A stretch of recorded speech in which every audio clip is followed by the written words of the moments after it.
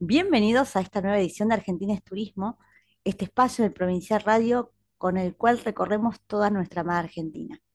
Recorremos y también aprendemos sobre turismo. Es bueno de vez en cuando invitar a referentes de la industria para que entendamos un poquito la mirada de los expertos con respecto a, a la movida turística en nuestro país. En esta oportunidad vamos a, hemos convocado a Santiago Cano, un experto, él es técnico en turismo y profesor en turismo y un referente en una temática que ya hemos tratado en otra oportunidad, pero nunca está de más ahondar, un apasionado del turismo religioso y un tema que a nosotros, a quienes nos oyen, luego nos ven, nos apasiona. Le damos la bienvenida a Santiago a Argentina de Turismo y con él vamos a hacer un viaje por el turismo y la fe. Bienvenido, Santiago. Bueno, gracias María Eugenia, gracias por convocarme y un saludo a toda la audiencia del Provincial Radio Online. Muchas gracias a vos por, por aceptar la invitación, porque sé de, de tu apretada agenda. Eh, vos llevas adelante una, una, consultora en turismo que también acompaña un evento muy, muy importante, que es el Foro de Turismo Religioso, y nos gustaría que, que nos hagas nos empapes un poquito más del tema de qué se trata, porque el turismo religioso sabemos que, que tiene que ver con, con, con, la fe, con la manera que, que, los visitantes van a ciertos lugares a conocer por, por diferentes razones, pero organizar el turismo de fe eh, requiere de, de, gente que sepa del tema, requiere de, de, una movida, sobre todo en Argentina, muy, muy particular. Eh, ¿cómo, ¿Cómo está llevándose a cabo el turismo religioso en Argentina con respecto a otros lugares del mundo? Vos sos una palabra experta y nos gustaría conocer tu, tu visión. Bueno, mira, aquí hay de diferentes este, cuestiones, ¿no? Que vos ¿Sí? has, has tirado aquí como disparadores y eso me, me encanta, me resulta muy interesante. Eh, en principio, el turismo de fe, que se, es una del, de las denominaciones tradicionales de, de, esta actividad. Hoy en día está, prácticamente en desuso, pero, Sí, es verdad. este, pero es un poco el, el, origen para entender lo que eran los viajes movilizados por la fe, por una creencia, digamos. En, en Argentina ese tipo de viajes existen hace por lo menos unos 70 años, organizados por agencias de viajes, en combinación con este, las parroquias y con un acompañante espiritual, que generalmente era el sacerdote de la parroquia, y entonces este, se armaban grupos de 25 o 40 personas eh, y se hacía una salida al año. Generalmente, ¿dónde se iba? A Roma, Tierra Santa, en algún momento también terció este, los caminos de, de, San Pablo, entre Grecia, Turquía, de, de toda esa, eh, esa región que es muy, muy interesante también de, para conocer y eh, se organizaban visitas a santuarios, a sitios significativos en, en lo religioso, fundamentalmente lo, lo, judaico lo cristiano, y este, incluso se organizaban misas que se concelebraban con un sacerdote local en, en, lugares significativos. Eh, esto ha ido cambiando, sobre todo en, los últimos eh, 20 años, eh, y, yo precisamente por, yo en realidad hace un poco más, yo en el primer viaje que armé de este tipo fue al Congreso Mariano en 1980 que se hizo en la ciudad de Mendoza, este, donde ahí llevé este, dos grupos de, de, de, personas de la parroquia en la, la, que íbamos con mi familia, ¿no? Uh en -huh. San Miguel, San Miguel, provincia de Buenos Aires. Y, y, ahí me, me di cuenta que, que, no era solamente una cuestión de fe y que no era solamente ir a, a participar de, de, las ceremonias o los actos programados por el, la conmemoración mariana. También la gente tenía ganas de conocer el lugar, hacer una excursión, ir a comer este, un plato típico, eh, comprar artesanías de, de, del lugar. Este, entonces es como que a, a, mí ahí se me abrió el panorama. Yo ya venía trabajando en, en, en, turismo, entonces empecé a darme cuenta que eso iba tomando también otro cariz, otro formato. Exacto. Y que no era solamente una creencia religiosa, sino que también había un interés en conocer el lugar. Y actualmente eh, se considera ya la denominación a nivel mundial es turismo religioso. Turismo religioso, exactamente. Ya, ya, no es más turismo de, de, la fe como una denominación. Pero sí, obviamente, la mayor parte, hoy será más o menos un 70% de este movimiento mundial, que por proyecciones lógicas y los últimos datos de la UMT daban del 2014 unos 300 millones de personas que, que lo practicaban en el mundo, cifra más que interesante.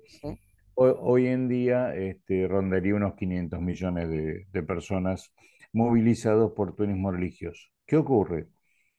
Hoy ese viaje ya se, el, que sigue siendo importante, muy importante, eh, el que lo hace por una cuestión de fe, que sería lo que se denomina como el peregrino.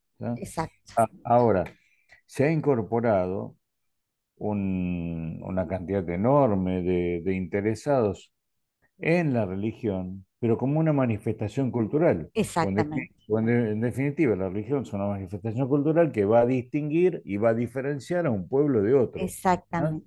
En, el modo de celebrar, en el modo de, vestirse, los colores a utilizar, eh, la música, hasta la gastronomía, la arquitectura, obviamente.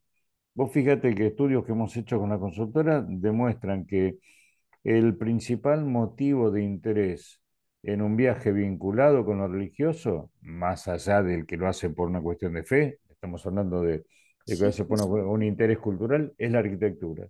Sí. Y, después de la arquitectura, la, segunda manifestación que despierta más interés es la música. Eh, entonces, eh, todo este panorama que ¿qué está demostrando? Que hay un cambio, hay un cambio en los intereses de los viajeros, que hay un cambio también hasta en el consumo de los servicios. Y, y, toda la operatoria técnica que requiere un viaje de estas características. Por empezar, vos estás necesitando recursos humanos especializados. un, tema, un tema que con vos en privado hemos estado hablando bastante. La importancia de la formación de los recursos humanos para atender al visitante porque no todos los turistas buscamos lo mismo. Entonces, el servicio tiene que adecuarse a las características también de, los visitantes. Entonces, ya ves, hay toda una, gran transformación. ¿Cómo estamos en Argentina? Vos me planteabas un poco también. Salí con los tapones de punta, pareciera. Este, no, no, no, hay problema, me encanta. Yo no tengo inconveniente en hablar todos los temas. Em, este, en Argentina te diría que, estamos eh, un poco en un sub y baja, y no es de ahora, es de, hace tiempo, ¿no? Em, quien, el primero que empezó a prestar atención, digamos, como una manifestación interesante, como una movida que podía generar desarrollo local sobre este tema, eh, te estoy hablando como secretario de Turismo, creo que fue en el año 2001, mm, por ahí, este, Daniel Scioli. Este, Daniel Scioli que en ese momento hizo este, su gestión en la Secretaría de Turismo y eh, su mano derecha fue Germán Pérez, un empresario hotelero gastronómico muy, muy reconocido, este, no solo en la ciudad de Buenos Aires, sino a nivel nacional. Entonces, como Daniel Scioli también venía de una formación empresaria por, eh, por su familia, este, ambos le dieron otra visión a todas las temáticas turísticas. Y, en y en ese momento organizaron las primeras jornadas de turismo religioso y con esta denominación en San Nicolás, provincia de Buenos Aires. Año, eh, mira, si no fue en el 2001, fue en el año 2002. E incluso organizaron una campaña con tres o cuatro de los operadores turísticos más importantes de Argentina. ¿Para qué? Para desarrollar diferentes circuitos con esta temática en el país. Había, había uno en Patagonia, después teníamos otro en, la región centro con Córdoba y después en el litoral con, con las misiones. Fue una campaña a nivel nacional, incluso en esa época, mira vos si habrán sido pioneros, lo hicieron en conjunto también con la Conferencia Episcopal Argentina. Y, y, se, y se trató así por primera vez, un tema que aún hoy en día sigue generando ciertos resquemores y cortocircuitos, que fue la comercialización del turismo religioso. Sí, que es muy, en algunos lugares todavía, Bueno, de muy de cerca los tengo resi- resistentes yo, a eso. yo te digo, en ese momento, en la Secretaría de Turismo incorporan también una especialista en Derecho Canónico, una argentina, la doctora Claudia Buente, que viene de, de familia hotelera gastronómica, o sea, conocían el sector, y, y su hermana mayor, dirigente este, hotelera de, de muchos años, o sea, gente del sector. Vos fíjate, est- estos datos que te estoy dando, hablando de hace 20 años atrás, cómo en ese momento desde el Estado se, se- generó como una, como una orientación. Lamentablemente, no me preguntes por qué, toda esa movida cayó cayó. se descontinuó. Eh, mm, sigue al día de hoy este, la doctora Buente como referente de- del tema en el, en el actual Ministerio de Turismo y Deporte de la Nación, pero todas esas acciones cayeron. Es más, de- después con la gestión de Enrique Meyer se lo revalorizó pero se lo pasó a denominar turismo de la fe. Luego, al final de su gestión, pasó a ser turismo religioso por, por influencia que, mm, digamos, presiones que ejercíamos el sector privado para no quedar descolocados, digamos, a nivel mundial, ¿no? De, de cómo se claro, planteaba, claro. cómo se planteaba el tema. Después, en la gestión de, de Gustavo Santos, se le dio muchísima importancia se lo trabajó a nivel nacional e incluso con promociones en, en el exterior, manteniendo la denominación de turismo religioso. Este, y en, en la actual gestión es como que mm, quedó devaluado nuevamente el- el tema y se está hablando internamente de turismo de la fe y con muy pocas acciones. Por eso te he ido marcando Qué eh, importante, cómo, cómo fue fluctuando qué el tema importante lo, lo que vos, lo que vos contás, y este cronológicamente has contado todo esto. Primero, por la, la denominación del turismo religioso y turismo de fe, lo, lo que pareciera tan poquita la diferencia, y sin embargo hay una misma porque pasa de ser un turismo solamente de peregrinos o de gente de fe a ser un tema cultural, donde ahí abarcan ya tantas aristas dentro de una forma de vivir el turismo. Pero también lo importante, y es tan importante que alguien tan experto como vos lo plantee, del compromiso eh, que, tiene que tener el Estado en la promoción de este tipo de turismo, porque, y ahí quizás va otra pregunta, lo importante que se entienda en estos foros que vos también promocionás y, y los que se trabaja, eh, lo importante que es para los lugares donde se realiza el turismo de fe, quienes reciben a los visitantes, para el desarrollo económico porque creo que todavía en algunos lugares, en otros lugares se trabaja, pero también lo hemos hablado en privado, que siempre es el privado quien es motor de todas estas propuestas y trata de convertir, y de alguna manera, hablando de turismo religioso, son quienes tratan de evangelizar a los lugareños para que entiendan del valor de, de que este tipo de turismo se desarrolle bien, de manera consciente, con, con expertos, con, de, de manera, con un desarrollo profesionalizado porque el turismo religioso, y está comprobado eh, a nivel internacional ni hablar, hoy justo estaba mirando un documental sobre Fátima, eh, de cómo, bueno, es, un- es el, el altar de- del mundo, se lo denomina, pero tantos lugares a lo largo de- del mundo, hablo de la fe católica, pero desde los templos budistas, eh, incluso se me viene a la mente, eh, el desarrollo económico que hay alrededor, quienes no practican ninguna fe, pero sí quieren desarrollar turismo, que trae este tipo de propuestas. Y es importante el trabajo que ustedes hacen de concientización, incluso de evangelización. Eh, mira, vos acá mm, nuevamente pl- planteás temas muy, muy interesantes. Cuando hablamos de turismo religioso, aunque la mayoría en el mundo eh, seamos católicos y en Argentina predominemos los católicos, pero no somos la única religión No, Entonces, cuando hablamos de turismo religioso, se habla de la mayor diversidad posible. Exacto. Y Argentina en esto tiene un mérito. La Argentina tiene muchos méritos, algunos te- tendríamos que, recuperarlos o ponerlos en valor, tomar conciencia de los valores que tenemos. Pero tiene un gran mérito, y esto es reconocido a nivel mundial, que es un país abierto.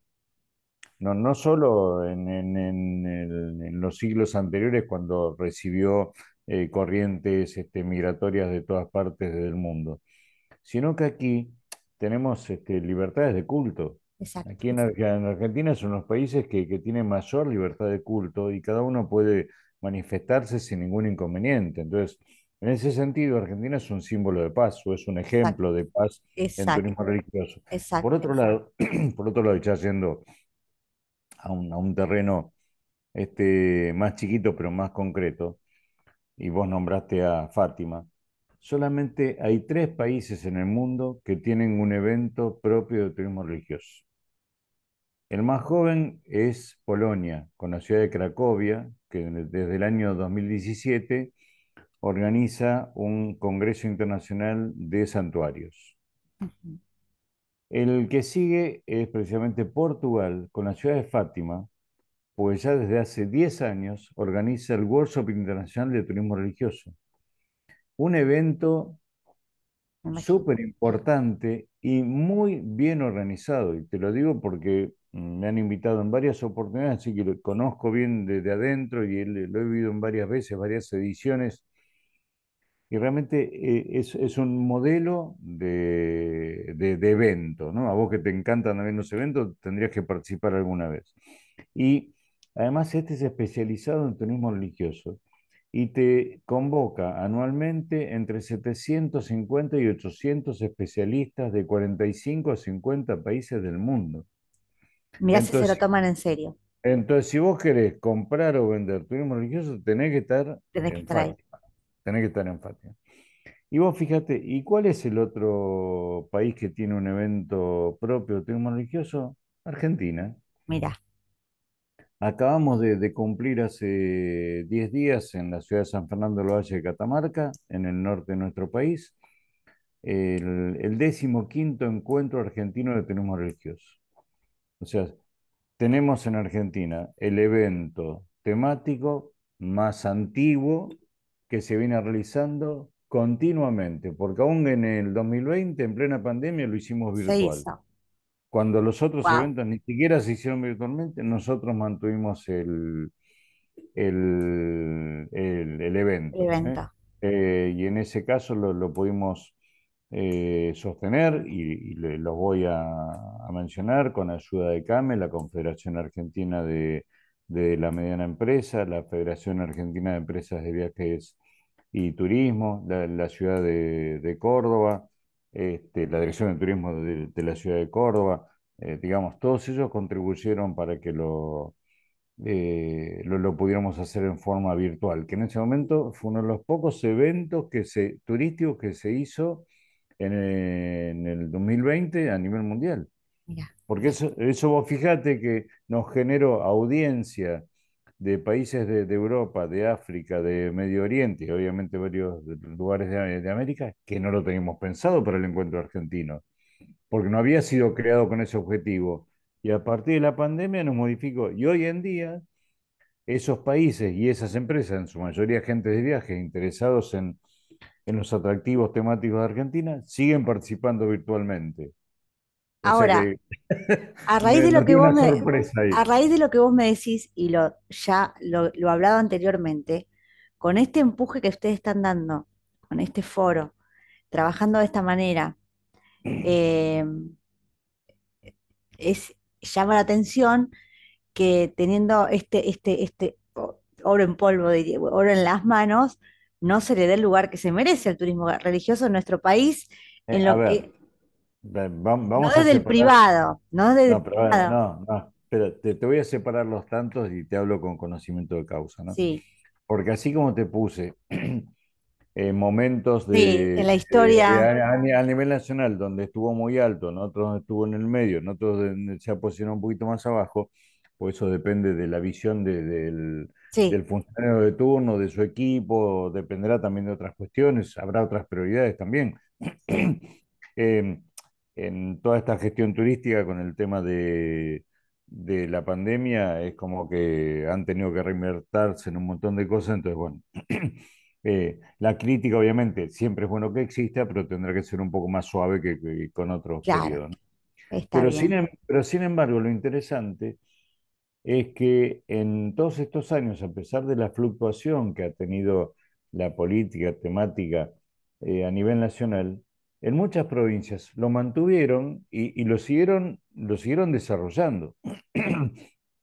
Provincias, por ejemplo, como, este, como Córdoba, eh, como Misiones, eh, te diría que son las dos que, que se Sí, han son dos referentes importantes. se- se han mantenido Sí, este, aún con cambios de, gobierno, sí, sí, sí, eso es sí. normal, pero lo han mantenido como una política de Estado. A- a- eso te iba a decir, son como políticas de gobierno ya instaladas y una y manera lo, de desarrollo. pero, y, y lo han seguido desarrollando, Sí, pero después también eh, hay otras que, digamos, sin estar en, en esa escala top, pero que vienen trabajando muy bien, como este, Neuquén, Neuquén, Río Negro, la provincia de, de Catamarca, la provincia de Salta, eh, y no, no, no quiero por ahí este, dejar a, a nadie afuera, porque estoy eh, sí, sí, sí, re- rememorando a... porque Sí. sí es muy interesante, como en estos últimos años, sobre todo en los últimos 10 años, tanto municipios como provincias han investigado su potencialidad temática el- la han trabajado, han tratado de apoyar a emprendedores locales, han formado recursos humanos. ¿M? Poner en valor los, edi- los edificios. Eh, lo- lo- lo- Los sitios, bueno, Sí, este, eh, hay muchos sitios que se han recuperado también sí, con, sí, aportes de- de- del Estado.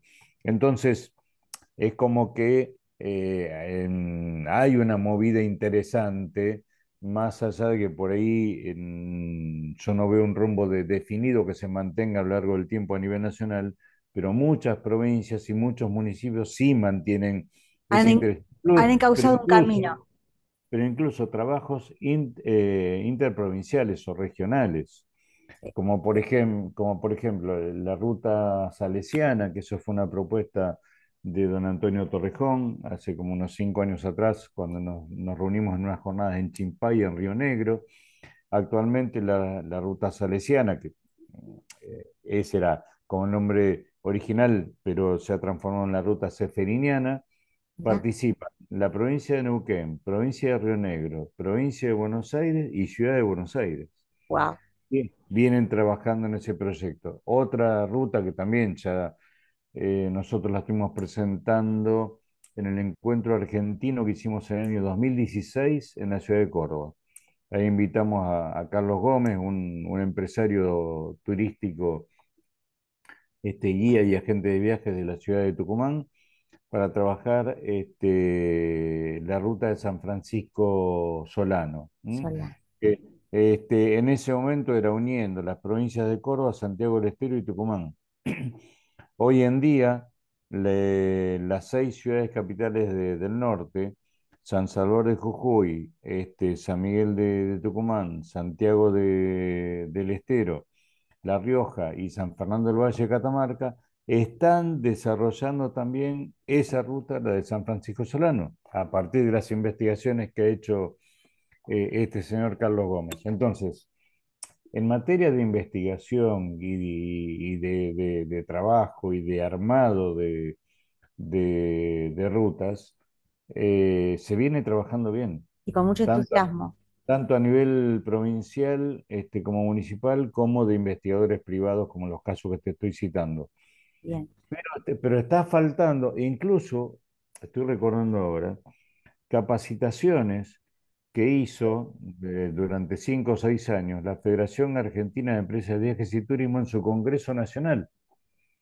Eh, lo hizo en Puerto Iguazú, lo hizo en Salta, lo hizo en, en- en Mendoza, eh, bueno, y en, y en un par de, de congresos más que ahora no, no, no recuerdo. Pero entonces también el sector privado ha estado interesado en, eh, contribuir a la formación de, de sus representados, en este caso los agentes de viajes. Hay una inquietud, hay un interés, hay un nicho, hay una necesidad eh, que es, es incipiente el crecimiento del turismo religioso, quizás faltaría ese, ese último empujón eh, a nivel nacional como para ponerlo como una, como un, Me, me- mira, a nivel nacional, eh, ya desde hace un par de años, yo la referencia concreta que te puedo dar es el trabajo que hace el IMPROTUR, el, el Instituto de Promoción Turística de Argentina en el exterior. porque vienen trabajando este, muy bien con el sector privado representativo de Argentina, ¿para qué? Para tratar de llevar el turismo religioso al exterior, ¿no? Eh, porque en realidad lo que nos está haciendo falta es eso. claro, Cuando fue la gestión de Santos, se le dio mucha fuerza al, este, al camino de los jesuitas en América, uniendo los cinco países, Uruguay, Argentina, Brasil, Paraguay y Bolivia. Eh, y eso, bueno, hay una sola empresa que es de, de, de Misiones, de Carlota Stocker de, de Posadas, que tiene desarrollado, a partir de relevamientos propios que ha hecho, con una inversión de tiempo y dinero muy interesante, relevar los 30 pueblos originarios, de, de- de Brasil, este, Argentina y Paraguay, y armando circuitos con todos ellos. Entonces, hay otros casos también de agencias que vienen trabajando sobre, sobre el tema, pero bueno, es como que está faltando, te diría que, que a nivel nacional alguien tome la, la bandera y, Y y, y termina de encabece, explotar, ¿no? Y, y encabece y la, termina de, sí, de la- explotar. Y dijiste algo porque muy, en Argentina hay un potencial sí, increíble, hablan, increíble. la verdad que, y, y dijiste una palabra que fueron pueblos originarios, que es eh, quizás el desafío cuando uno desarrolla turismo religioso, vos me lo dirás como, como experto, que es el, el trabajo en campo, ¿no? Es el, el- el gran trabajo en campo que, bueno, vos con, con tu consultora y la gente experta, eh, el hecho del desarrollo del turismo religioso eh, tiene que ver mucho con también con esa, con, con ese trabajo político en el sentido de, ¿no? de, de- de cintura política de trabajar con comunidades originarias en algunos casos, donde hay que relevar, hay que poner en valor, hay que convencer y, y hay que trabajar con el respeto a diferentes culturas. Hay muchas veces un sincretismo cultural muy fuerte en algunos lugares. Me- mira, este, yo no soy ni, político ni diplomático, ¿no?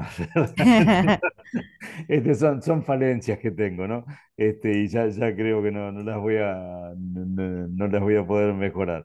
Em, pero bueno, yo hablo a partir de, de mi conocimiento de, de- del tema, y aquí lo que vos estabas citando de pueblos originarios, estoy recordando ahora dos empresarias, una de, Junín de los Andes, Popi Guancha, y otra de la ciudad de Salta, este, mm, eh, Karen y de la agencia El Peregrino de, Salta, Karen Chamón, y, ellas este, an- tenían armadas, además de las propuestas tradicionales de cada sitio, digamos, con, referidas al turismo religioso, pero también tenían, tienen, tienen armadas propuestas este, de, de la cultura originaria, ¿eh? De, de pueblos originarios, de, de ceremonias ancestrales, Claro, de, sitios a las que ellas eh, tienen acceso para, para llevar un reducido número de visitantes, porque son eh, lugares que no, no- no son de, fácil acceso o de abiertos al público, ¿no? sí. Este, porque ciertas eh, ceremonias o ciertas comunidades son muy cerradas, bueno, entonces ellas trabajando todo este tema eh, generan este tipo de propuestas. Por eso te digo, el potencial de Argentina Sí, en, en esta sí, cuestión eh, sí, es es, increíble, es es, increíble. No, no nos damos cuenta de realmente de, De todo lo que tenemos, porque aparte de lo que tenemos y aparte porque el turismo religioso, como lo dijimos en el principio, no se cierra solamente a una, a un tipo de fe o a una religión. Esto abarca las diferentes maneras de vivir la espiritualidad eh, eh, a lo largo y a lo ancho de nuestro país un país rico en cultura, rico en, en- en orígenes, eh, ha sido desde sus pueblos originarios hasta las diferentes inmigraciones, eh, lugar de, enriquecimiento continuo, ¿no? Entonces hay para, para descubrir todo. Creo que todavía estamos eh, tirando de, si empezamos a tirar de, del hilo, nos vamos a encontrar con cada vez más riqueza. Bueno, fíjate vos que uno de los temas que a los empresarios, empresarios europeos le llamó más la atención de lo que se trataron ahora en el encuentro argentino en Catamarca, fue la presentación que hizo un investigador local, un historiador, sobre la ruta del adobe. Claro, Catamarca. No, no, no, no podían entender cómo en una de las provincias turísticamente menos conocidas de, de Argentina, este, y en el interior de su provincia se encontraran eh, esos, este, esas representaciones patrimoniales Exacto. de, este, que antiquísimas y que se mantienen en, en pie y que siguen, y que siguen abiertas. Otro tema que no puedo entender es lo de los oratorios particulares o oratorios familiares, digamos, ¿no? Que, Sí, sí, sí, sí, sí. este, que, que algunos son riquísimos y, y tienen piezas muy antiguas. No, Absolutamente. y a esos, esos lugares, esas casas, vos entrás por invitación, ¿no? Tampoco están abiertas para, para no. todo, ¿no? Entonces Tenemos, fíjate como hasta hay pequeñas cosas, perlitas sí, que, que tiene Argentina para mostrar y eso puede generar eh, una movida turística muy interesante. Guarda, yo cuando hablo de movida turística, a, a mí no, no me gusta el turismo masivo, ¿no? A mí no, no, no, no, no. a, a mí, a mí me, me gusta tratar de mantener un, un equilibrio porque vos no podés caer con 500 personas a un lugar donde viven 50, porque obviamente se van a sentir invadidos, ¿no? exacto. Este, entonces hay que tratar de organizar viajes a escala de cada lugar, Y a las aparte, posibilidades, a las posibilidades de cada lugar, para que la vivencia sea plena, que puedan tener un contacto con el habitante del lugar. y que no logre el efecto rebote que pasó eh, cuando no se sabe que es esas visitas masivas después generan un rechazo, el antiturismo, les digo yo, cuando, cuando ese- esa invasión a, a ciertos lugares, el, el lugareño se siente invadido y lo que hace es no, no querer más. Y bueno, el trabajo de los profesionales o quienes trabajan en, en campos, en los diferentes campos del turismo, es lograr ese equilibrio, ¿no? Entre la experiencia placentera para el visitante, pero también placentera para quienes nos reciban, para que tengan más ganas de, recibir y que el crecimiento sea paulatino, eh, con paso seguro, profesionalizado. Bueno, ese es el gran desafío de quienes desarrollan turismo en, tan, en diferentes áreas, pero el turismo religioso tiene un, un- la verdad que un desafío importante. ¿Cómo, cómo trabaja un consultor, cómo trabaja un especialista a la hora de desarrollar un destino, si se quiere decir, turístico? Bueno, mira, en, en principio no, no, no es sencillo y es una cuestión de fundamentalmente de convicción. Sí, porque si yo no estoy convencido de lo que se debe hacer en una planificación o en una ejecución técnica para alcanzar los resultados que, que quiere un empresario, que quiere un funcionario para su destino, un empresario obviamente para su negocio, entonces tampoco puedo llegar a un acuerdo con ellos que les resulte interesante, digamos. Entonces, en principio, estar convencido. En, en Empresur lo que hemos armado desde su inicio, porque la consultora nace en el año 2001, un momento muy, muy crítico para el país, pero sin embargo, bueno, donde se este, necesitaba mucha fe. eh, a- así, así vimos la, la luz. Y en ese momento este, eh, armamos un equipo inter- interdisciplinario con eh, especialistas en conservación del patrimonio, en periodismo eh, turístico, este, guías con actividades de naturaleza, guías ibaquianos con actividades de, naturaleza, especialistas en marketing, investigadores, historias, digamos, bueno, este, la, la gestión también empresaria, la gestión comercial y en su mayoría, casi todos, este, docentes el- de, de la actividad a, a nivel universitario, en la universidad pública o, o universidades privadas. Entonces, todo eso nos daba como características muy, muy especiales, ¿no? Y eh, también con la posibilidad de, de abarcar distintos campos o, o temáticas. Nosotros decimos especializarnos en dos áreas. Una, el turismo religioso y la otra, el turismo activo Ujú, donde dentro de la consulta también hay equipos para desarrollar turismo religioso y hay otro equipo para eh, turismo activo. Y en eso, eh, pensando en capacitación, en la formación, no solamente la formación de recursos humanos, sino también la formación empresaria y la formación de funcionarios. claro, Sí, hemos hecho capacitaciones muy interesantes con, con, con funcionarios, donde han dado un resultado fantástico. Este, pero después también organizando eventos temáticos, este, tanto en Argentina como en, como en otros, en otros países, ¿no? En el tema del turismo activo llegamos a, a lo que es eh, la región Mercosur. Y en el, ahora estamos eh, desarrollando más con otros países de América fuera de, de, de los cinco países de, de esta región.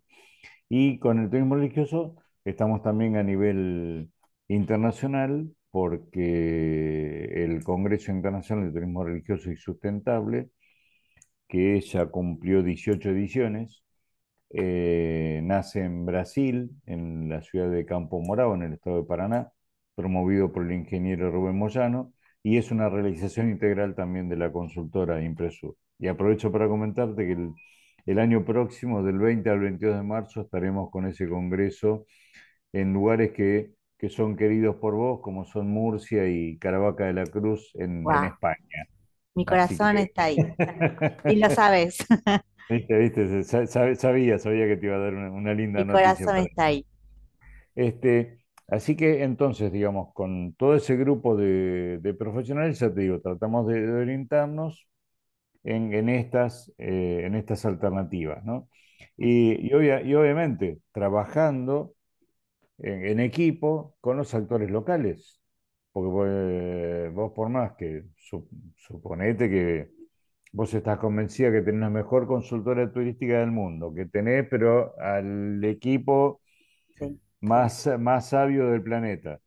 Pero si vos después no lográs trabajar en equipo con la comunidad local, no te sirven de nada los pergaminos. exactamente, Y, y eso es lo que es una tarea muy difícil, muy compleja, pero hay que tener este, claridad, eh, hay que estar muy abierto desde lo profesional, desde lo humano, desde lo conceptual, para poder este, trabajar con otros actores que vos no conocés y que tampoco te conocen. exactamente, Entonces, hay que empezar a trabajar, primero analizar la problemática del lugar para ver cuáles son los puntos de mejora, pero también trabajar sobre la potencialidad. A ver, ¿qué tengo yo interesante aquí para desarrollar?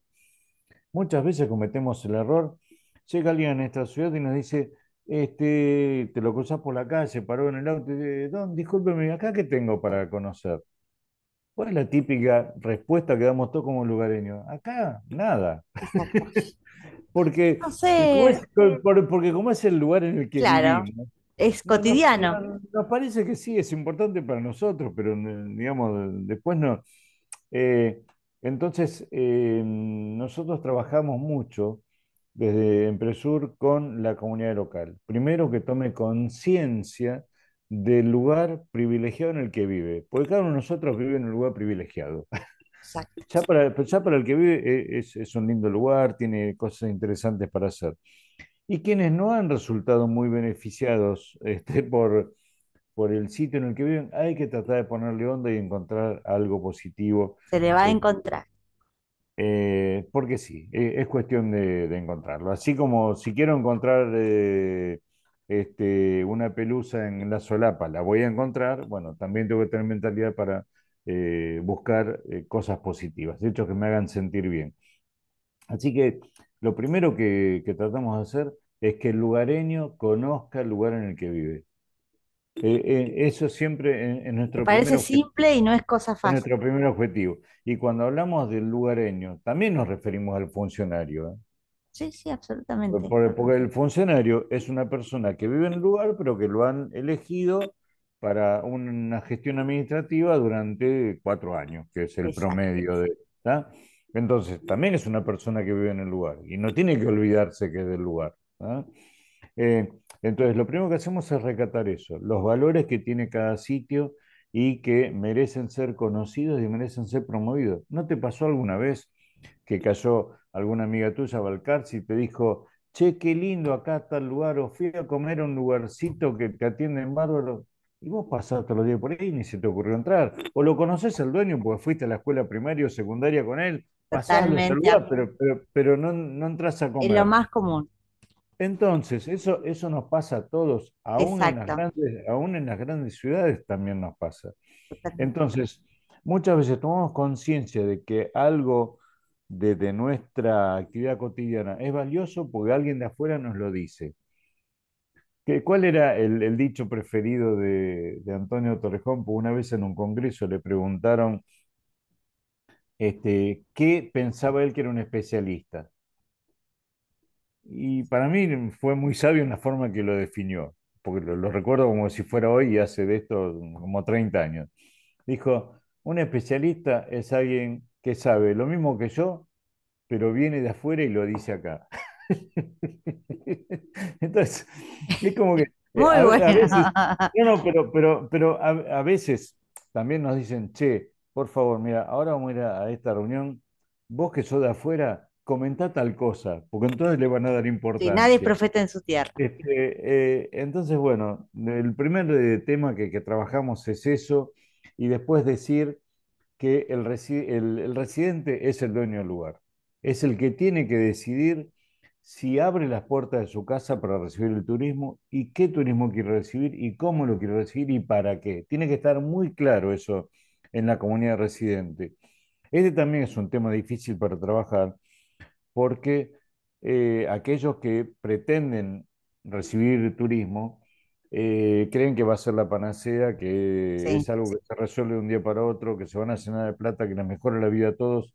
No, el movimiento de gente, aún así yo abra la puerta de casa para recibir a 20 amigos, es obvio que me van a generar otro volumen de, de ruido, este, va a haber mayor desgaste de los muebles de la casa, después voy a tener que estar juntando la basura, voy a tener que lavarlo, pero es algo natural. Entonces, si yo todo eso tomo conciencia de que puede ocurrir y lo preveo, hasta puedo determinar en qué momento quiero recibir esos turistas, cuánto los quiero recibir, cómo los voy a recibir porque el turista tiene que ser un aliado del desarrollo local, tiene que ser un exacto. amigo, pues yo a mi casa no invito a cualquiera, no es contra a cualquiera. Entonces, tiene que haber un control, sí, pero tiene que responder a una planificación. Y en la planificación no, no se hace por arte de magia, no, no la hace un consultor sentado en su escritorio a miles de kilómetros de distancia, no la puede decir el intendente de turno o el consejo deliberante firmando una ordenanza, no tiene, tiene que ser una, una política del lugar, tiene que ser este, trabajada, consensuada, debatida. Hasta puede ser que no nos pongamos de acuerdo, bueno, y se, y se decidirá después por mayoría, que es, es lo que ocurre también en, en, en la, en la democracia. Entonces, bueno, y ahí también después ir ajustando parámetros, pues la planificación no tiene que ser rígida. Claro. A ver, me voy adecuando. A ver, no, esto no está saliendo como, como pensábamos. Bueno, a ver, ¿qué vuelta le podemos dar para Y qué recuperar importante es eso, lo, que teníamos? Pero lo que ocurre es que no estamos acostumbrados. Exacto, qué importante que lo digas, porque pasa mucho también eso, ¿no? De no querer dar un paso atrás por ese miedo a, a- a mostrarse débil o ineficaz por, por decir, no, mira, por ahí me equivoqué, no es el camino, debe- deberíamos repensarlo. Y sin embargo, habla de una gran fortaleza y el autoconocimiento continuo. Es fantástico eso mira, que estás diciendo. mira, te, te voy a dar un ejemplo concreto. La la Villa de Merlo en, en la provincia de San Luis. Hace 15 años atrás, allí por eh, apoyo de eh, la Asociación Empresaria Hotelera Gastronómica de la Villa, que por ese entonces era presidida por el amigo Norberto Grosso, ellos decidieron apoyar para que así se hiciera el primer encuentro argentino de turismo religioso. Esto despertó muchas críticas. La Villa de Merlo no es un sitio significativo para turismo religioso um, a nivel nacional. No, no, no lo era por ese entonces, sigue sin serlo al día de hoy. Este, pero entonces, ¿por qué se hacía en la Villa? A pesar de que su principal monumento histórico, que es nacional, es la, la capilla que construyeron así los, los franciscanos, tiene eh, un, un convento que son eh, monjas de claustro de origen francés, que hay solamente dos en América del Sur, uno en Chile y otro en Argentina. Argentina está ahí en, al ladito de la Villa Merlo, es en Carpintería, es otro, otro pueblito ahí, pero está en, en- la zona.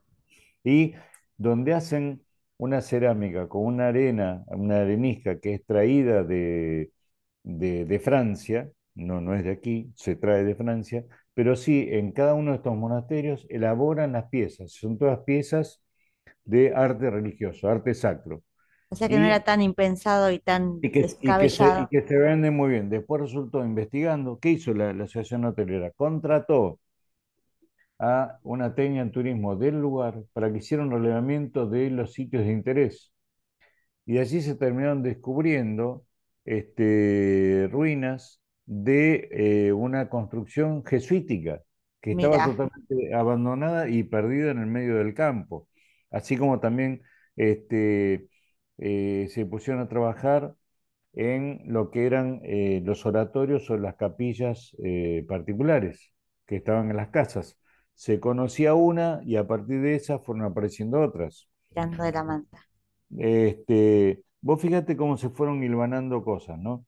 La provincia de, San Luis no tenía nada hecho o documentado a nivel de turismo religioso. A partir del primer encuentro se hizo en la Villa de Merlo, la provincia se interesó y armó hasta eh, un, catálogo provincial y algo muy interesante que incluyó a cuatro agencias de viajes de la provincia interesadas en promover los circuitos. Y otro tema más. Con ese primer encuentro se trabajó a nivel regional entre la Villa de Merlo y Villa Cura Brochero de Córdoba distantes nada más que a 100 kilómetros una de otra. Pero hasta ese momento como que... Cada uno iba por su lado. Sí. Entonces, ¿qué se comenzó a gestar? Con una agencia de, de Merlo, comercializar la visita día entero a Villa Cura Brochero y la recíproca, una agencia de brochero para vender el circuito de turismo religioso en la Villa de Merlo. ¿Cómo lo trabajamos ahí? La Asociación Hotelera de la Villa de Merlo con la Cámara de Comercio de Villa Cura Brochero y además con las dos intendencias. Entonces hicimos una jornada en Villa Merlo e invitamos a todos los de Brochero. Al día siguiente la jornada en Brochero invitando a todos los demás. Ah, bueno, y, después Esto, y, después esto se siguió trabajando y se sigue trabajando al día de hoy. Entonces, un sitio que no era significativo, que aparentemente no tenía nada, hoy, hoy, en día, hoy en día también tiene este, mm, organiza un evento para Semana Santa que es de eh, imágenes antiguas. Mirá. Y esto, ¿qué, hizo la Asociación Hotelera? Becó a dos informantes de turismo del municipio de la Villa de Merlo para que se capacitaran en la ciudad de Córdoba con una diplomatura de turismo religioso. Como trabajo final de esa diplomatura, armaron el evento para recuperar, recuperación patrimonial de imágenes religiosas en la villa, que estaban en los oratorios particulares. Las fueron recuperando y obteniendo el permiso para que se pudieran exhibir en Semana Santa al público. Y después, con apoyo de la provincia, consiguieron eh, el trabajo de una restauradora, también local. O sea, vos fíjate cómo de la nada se pueden hacer cosas muy interesantes y sostenerlas a lo largo del tiempo. La verdad, Santiago, primero, cómo se nota que sos profesor en turismo por lo bien, ha sido jubilado, jubilado, No importa, eso se lleva, se lleva para toda la vida, la docencia es para toda la vida. Es cierto, es, realmente es una vocación. Es una vocación, el que es de vocación lo lleva toda la vida y realmente, eh, primero, qué, qué bueno, qué, qué buena charla, realmente no me, no me voy a cansar de agradecerte porque ha sido una explicación tan didáctica, apasionada, porque realmente ah, eh, muy apasionado tu relato y, claro, cada uno de nuestros oyentes y quienes nos ven también van a entender de manera pero muy clara la importancia del desarrollo del turismo religioso en el país y aparte del, desarrollo eh, profesionalizado también, a conciencia, es la manera de sostenerlo en el tiempo. El trabajo que estás haciendo es fantástico y realmente vale la pena, eh, no una entrevista, muchísimas entrevistas más y, un seguimiento porque merece Argentina y, merecen todos los que están trabajando en esta movida de turismo religioso que agradezco siempre a la vida haberme cruzado porque gracias a Mónica Núñez de Misiones, eh, llego a vos, a quien le agradezco, porque siempre también trabaja con muchísima pasión en lo Ah, que es turismo religioso en, en su provincia y, y tantos otros que lo vienen, la vienen remando y, vienen capacitándose de manera fabulosa, cada uno en el lugar que le ha tocado, pero con un amor por lo que hacen, que, que obliga a, a quienes, creo que ya obliga y se, se debe exigir que quienes les toca el otro lado, eh, estar a la altura, porque hay una, un capital humano trabajando en pos del turismo religioso increíble en Argentina, increíble, bueno, realmente. permití- permitime que, porque ya que la nombraste a Mónica Carolina Núñez, este, mm, que es una de las eh, investigadoras en, en el tema y constante, pues Mónica viene trabajando hace por lo menos eh, 15 años en, en la provincia de Misiones una guerrera del turismo para, religioso. para, para desarrollar el turismo religioso y además interreligioso por la diversidad cultural, la riqueza cultural que tiene la, la provincia de, de Misiones, ¿no? Aparte, eh, Mónica ha participado en muchos eventos nacionales, internacionales, eh, en, en Argentina, en, en Brasil, ahora se quedó con ganas de acompañarnos en Colombia, pero está siempre presente. Aquí es muy interesante destacar que eh, acaba de cumplir 12 años de que se creó la Comisión Argentina de Turismo Religioso que surgió como una iniciativa de la Asociación de Agencias de Viajes de Buenos Aires. Luego comenzó a desarrollarse de- de- con, con participantes de, de- otras provincias, al punto que hoy en día está bajo la órbita de la Federación eh, Argentina de Empresas de Viajes y Turismo. Y es muy interesante este caso, porque en otras partes del mundo no existe, y porque eh, hay eh, empresarios, en su mayoría gente de viajes, hay también hoteleros, pues está la Federación Empresaria Hotelera Gastronómica eh, integrándola, pero hay muchos funcionarios y, y además también está la Pastoral en Turismo, este, aquí con Marcela Villares, que es la, que- quien la, coordina y lleva toda la acción a nivel nacional. Entonces, de esos miembros, vos tenés toda gente muy capacitada y que trabaja, eh, que, trabaja muy bien. Lo tenés a Gustavo Macho en la provincia de Tucumán, dijimos Mónica Carolina Núñez en, en Misiones, Graciela Paradea en Santiago del Estero, eh, Cookie Peralta y Gustavo Loza en, en Córdoba, Soraya Chaina y Gabriel Fosco en Ciudad de Buenos Aires, además de Marcela Villares, Javier de la Mónica en, en Santa Fe, Sergio Rodríguez en- en Río Negro, o sea, y, me estoy olvidando de, mucha gente, ¿no? Pero este, y gente valiosa que viene trabajando por, eh, por, este tema, no solo para mejorar, a partir del turismo religioso, mejorar las condiciones de, vida en su lugar, eh, tratar de que eh, haya arraigo juvenil, que no tengan que irse este, hacia otras ciudades, que se puedan permanecer en, en su sitio. Así que, bueno, por eso te digo, la verdad que Argentina está tomado como modelo sí, porque tiene la, la Comisión Argentina de Turismo Religioso, tiene el encuentro argentino, tiene todos los, los atractivos. Ahora se suma Fray Luis Beltrán en el, para el norte del país, fundamentalmente para la provincia de Catamarca. El, el doctor Sati en, en, en Viedma, que va a abarcar a, a todo Río Negro y también a Carmen de Patagones en la provincia de Buenos Aires. Entonces, y fíjate vos eh, todo lo que hay para, para hacer y para, y para desarrollar, y hay mucha gente en el país que lo viene trabajando con, con, muchísima. mucho, con, con mucho cariño, profesionalismo, o sea, este, eh, hay, realmente hay mucho por hacer, por eso a mí me gustaría que Argentina pudiera salir a mostrarse al, Sí, al mundo, sí, lo además, merecen ustedes. hay- pero hay en este momento cinco agencias de viajes de Argentina eh, eh, de, de distintas provincias, Salta, Córdoba, provincia de, de Buenos Aires, que integran la red internacional de agencias de viajes especializadas en turismo religioso que hay este, empresas de 21 países. Bueno, Wow, Argent- Argentina, Argentina tiene cin- cinco integrando esa red. Entonces, imagínate vos, si yo te decía, con la fuerza que está poniendo el Improtour para tratar de promoverlo en el exterior, tenemos que decidirnos y, y Sí, salir. Hay que, hay que sí, salir a trabajar en equipo. No hay otra manera, este, lo, habré- lo hemos hablado en otro momento, no hay otra manera de triunfar en turismo, sobre todo en la, en la vida en general, pero en turismo si no es trabajando en equipo. Es, es la única manera, trabajando solo, el privado no puede y el público solo tampoco puede, es la única manera. Realmente, Santiago, yo estaría horas hablando con vos.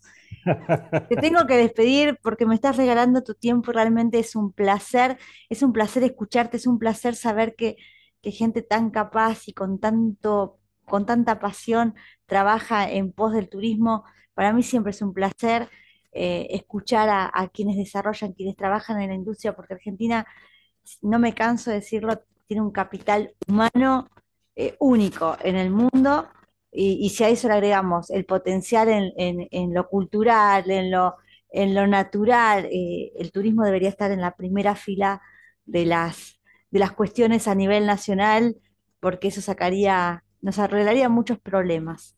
Así que te agradezco infinitamente. Santiago, ha ah, sido eh, muy generoso en tus explicaciones.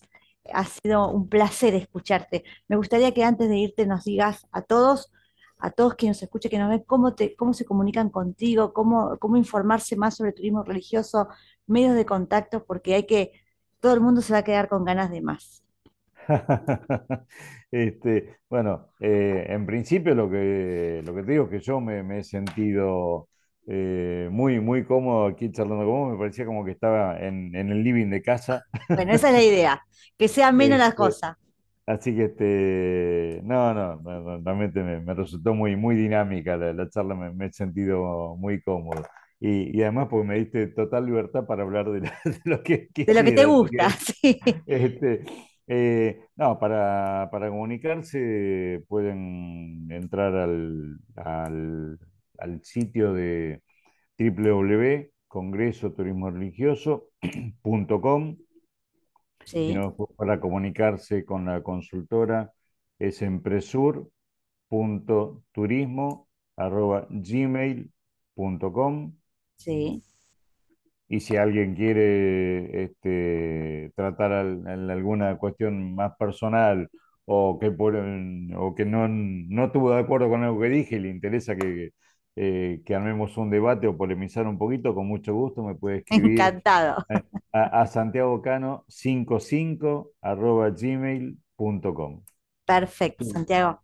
La verdad es un placer, es un placer porque es un tema tan apasionante el turismo religioso eh, y, y que toca tantos temas y que eh, a veces transitarlo eh, para algunas, eh, para quienes nos escuchan, no son expertos en la materia, puede resultar engorroso porque no sabe bien cómo llevarlo. Y lo has hecho de una manera muy amena, muy didáctica, eh, muy entretenida y eso desde mi lugar se agradece porque eh, todos los que quieran saber un poquito más de turismo, tengan una cierta curiosidad, esto invita a querer saber un poco más y, y los que amamos la, la industria queremos eso, ¿no? Generar ese, aunque sea curiosidad en principio y quien te dice eh, un poquito más después. Así que desde mi lugar, agradecida. Mirá, so- solo algo, porque si no, digo, después se me van a enojar porque no los nombré. El, el próximo encuentro argentino de turismo religioso va a ser el año próximo en la ciudad de Luján, Mira, porque hermoso. ahí, ahí, te- ahí tenemos un, un referente muy trabajador, muy trabajador, este, que es Hugo Sartor. Así que este, ahí en, en junta con el intendente de Luján, el licenciado Leonardo Boto Álvarez, van a estar recibiendo al país en, en, en Luján eh, el año próximo, que será en, en el mes de junio. Estamos todavía ahí este, definiendo fecha. Pero bueno, no, no, no quería irme sin mencionarlo, muy bien. este, Y estaremos cubriéndolo me iban a seguramente. sacar tarjeta amarilla, pero sí, vas a estar invitada para participar. Lo vamos, lo vamos a estar cubriendo seguramente. ¿Vale? Santiago, mil gracias. Mil gracias. Un genio. Y bueno, ya saben, que nos escuchan, luego nos ven. Esto es un programa especialísimo sobre turismo religioso con Santiago Escano, un experto y un fanático, un, un apasionado de, de- de su área, lo cual se agradece porque es, es lo que necesitamos en nuestro país.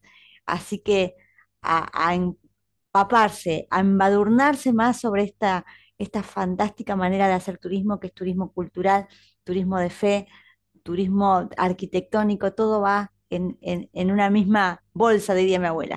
Muchísimas gracias, Santiago, muchísimas Gracias Nos escuchan, luego nos ven en esta nueva nota, este especial de, del Provincial Radio, esto que llamamos Argentina es Turismo. Nos vemos en una próxima emisión.